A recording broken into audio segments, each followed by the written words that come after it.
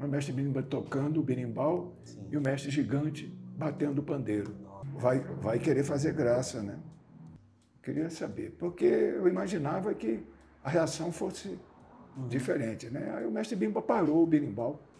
Eu falei, agora é que eu vou ser colocado para fora da, da roda, né? Uhum. E cheguei perto do berimbau, abaixei, continua. Eu achei, a minha interpretação, né, modéstia à parte, uhum. é que para ele é um sábio.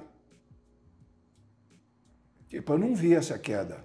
Sim. Eu nunca vi essa queda na, na roda. Não faz parte da nossa, treinamento do nosso treinamento, né? Mas existe. Então, se existe, eu não vi, mas agora eu vi. Essa foi a interpretação que